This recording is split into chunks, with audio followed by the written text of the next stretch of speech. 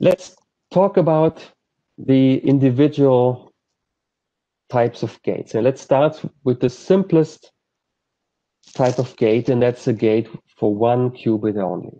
So the general form is you have an, a qubit coming in in the state psi. You have uh, a single qubit gate. Here it's labeled with a U. That's the that's some unitary transformation on the single qubit. The output is then the transformed qubit state. And let me show you a few examples that I used very often. The first example are the so-called Pauli gates. Yeah, they denote denoted X, Y, Z. Yeah, for example, the Pauli X gate is a gate which applies the Pauli X operator to the single qubit state. We learned last week that the Pauli operators, they are at the same time ob uh, observables, they are Hermitian, but they are also unitary. Yeah? So the Pauli operator also performs a unitary transformation. And um, here's the Pauli X. The action on a basis state is that it flips the basis state. So the basis state 1 is transformed to basis state zero and vice versa. A compact way of writing this is to say if the input is a basis state t, where t is zero or one, then the output is, is t plus one mod two. Yeah, so if the input uh, is the basis state zero, then zero plus one is one, so the output state is one. If the input state is the basis state 1, then the output is 1 plus 1 is 2, mod 2 is 0.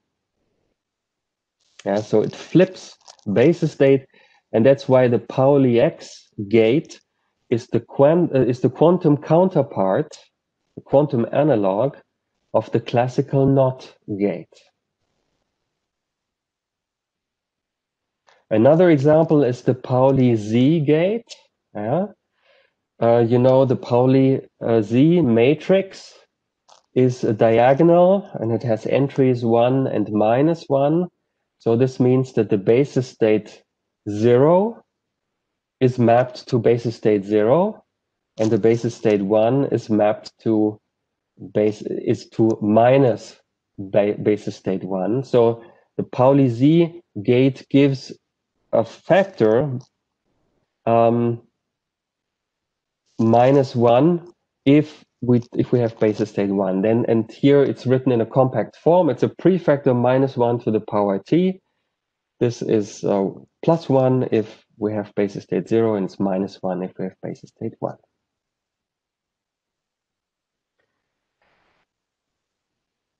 A further single qubit gate, which is used very often, and here is the first time we encounter the um, the pertinent operator, that's the so-called Hadamard gate. It's written with an, with an H.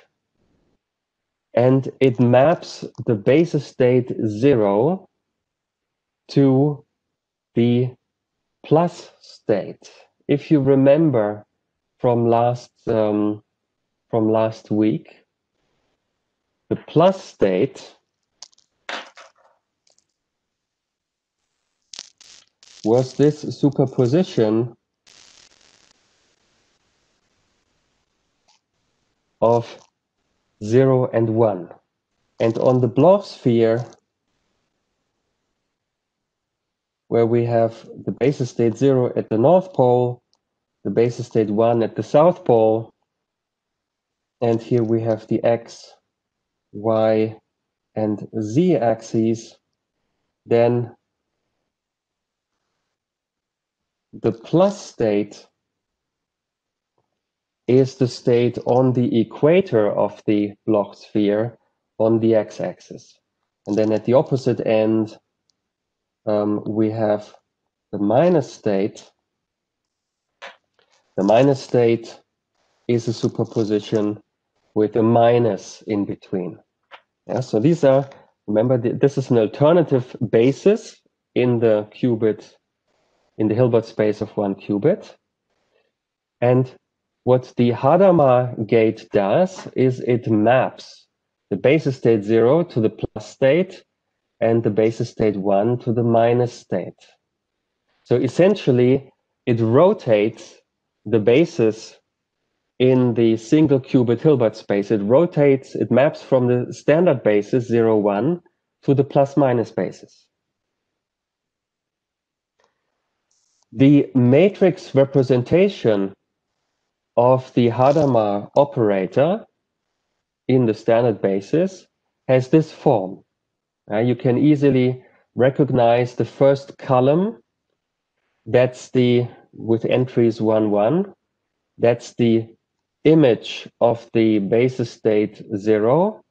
And so it's um, um, with the prefactor 1 over square root of 2. That's precisely this linear combination uh, 1 over square root 2 0 plus 1, so that's the plus state. And the second column um, with the minus uh, below, that's the minus state.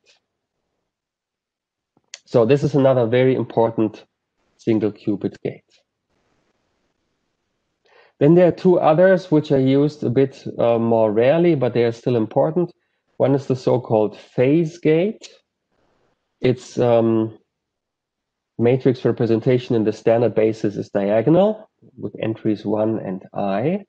And then there's the so-called pi 8 gate t, which looks very similar, but instead of the i has a, an e to the i pi quarter.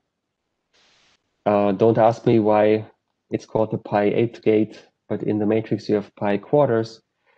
Maybe if you factor out the global phase factor, then um, e to the i pi 8, then in the diagonal you have e to the minus i pi 8 and e to the plus i pi 8. Maybe that's where it comes from. So this list shows you sort of the, the most frequently used single qubit gates. And they are not all, uh, and they are all different. And in principle, you have um, infinitely many of them because you have a continuum of possible unitary transformations of a single qubit. And this contrasts with the classical case where practically you have only one interesting single bit gate, and that's the NOT gate. Yeah? So you have classically you have just one, and here you have infinitely many. However, it turns out that's what I mentioned previously, that um, actually just a few are enough to build arbitrary circuits. The gates that I just showed you, they are not all independent, but they, there are relationships between them. For example, two Hadamard gates in a row they just give the identity. That's because the Hadamard operator is like the all the Pauli operators. Its square is the unit operator. Uh, H squared is unit operator. So two Hadamard operators in sequence neutralize each other.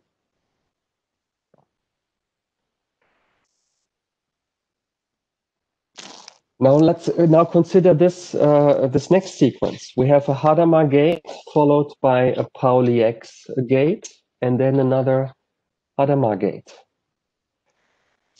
Imagine that you start with a basis state zero. Then the Hadamard gate transforms that to the plus state. Okay. The plus state, remember, is this linear combination of 0 and 1. Then the Pauli X flips the basis states. So um, 0 becomes 1 and 1 becomes 0. But in the bracket, we still have the same the same sum. and Just the order is uh, exchanged, but it doesn't do anything. So actually, the plus state is an eigenstate of Pauli X. It remains unchanged. And then the final Hadamard gate transforms the plus state back to the basis state zero. Why is that? We can quickly check that. I mean, um, uh, it follows from the fact that um, uh, Hadamard squared is the unit operator, so the Hadamard operator is its own inverse. Yeah, so the second Hadamard simply reverses the transformation from zero to plus, then it goes back to zero. Uh, I can also make this explicit. Um, so here we are inputting this linear combination. When we apply Hadamard to that, then uh, 0 becomes plus, 1 becomes minus. Yeah. And then we remember the definition of plus and minus, so we get another factor 1 over square root of 2. Then we have 0 plus 1, and uh, the minus is 0, 0, minus 1. The ones cancel, we get twice basis state 0, and the 2 cancels, and we end up with basis state 0. So um, this combination of three gates leaves the basis state 0 unchanged. Let's do the same um, for basis state 1.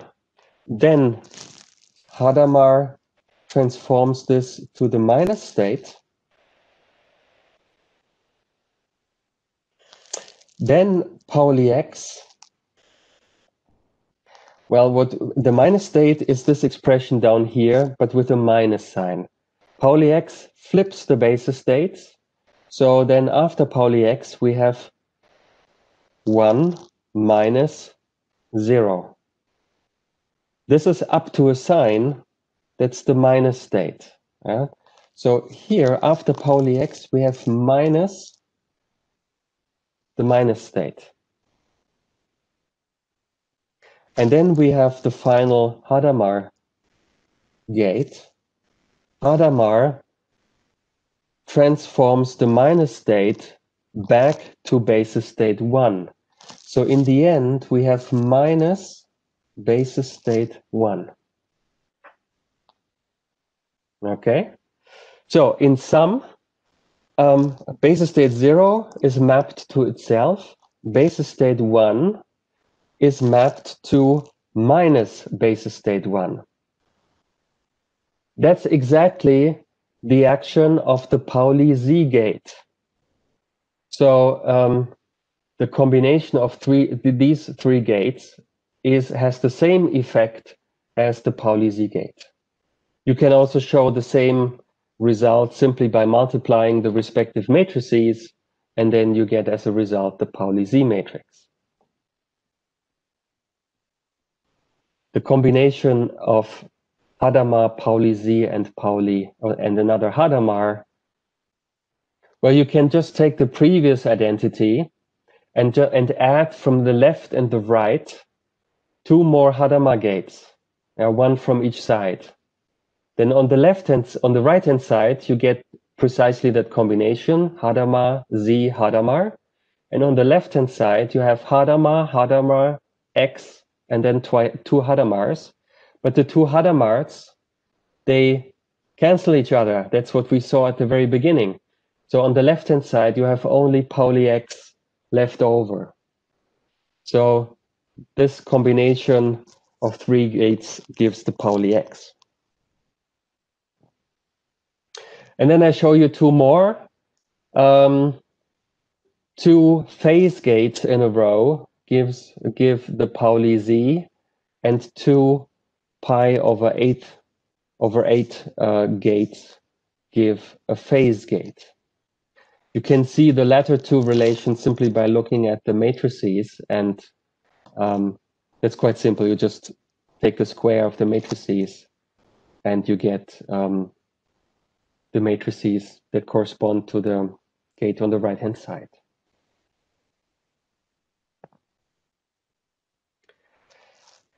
Now, in addition to these unitary gates, uh, for single qubits, there is one type of gate which is really unique to a quantum computer. You don't have something similar in the classical case, and that's the measurement gate. Yeah, uh, we, I said that in order to extract a classical result from a quantum computation, you have to do a measurement. It's something that you don't have to worry about in, in a classical computer. But in a quantum computer, you have to make that explicit. And there is an extra gate for that. And it's denoted with this symbol, which looks like a measurement instrument. It has as its input a qubit, so a quantum state, and the output, and then you perform a measurement in the standard basis. And the output is then um, one of the two possible results, either the result corresponding to the basis state zero or the result corresponding to the basis state one. So the output is a zero or a one, and that's a classical bit. Yeah, so the measurement gate basically ends the, the quantum domain and then translates a quantum bit into a classical bit. I mentioned before, this is a step which in general is probabilistic and irreversible, unless you know for sure in advance that the quantum state that's coming in is a basis state. In that case, the measurement result is certain. And also, if you know that, that it's a basis state, then from the result, you can um, infer which basis state it was. But leaving aside the special case, this is probabilistic and irreversible.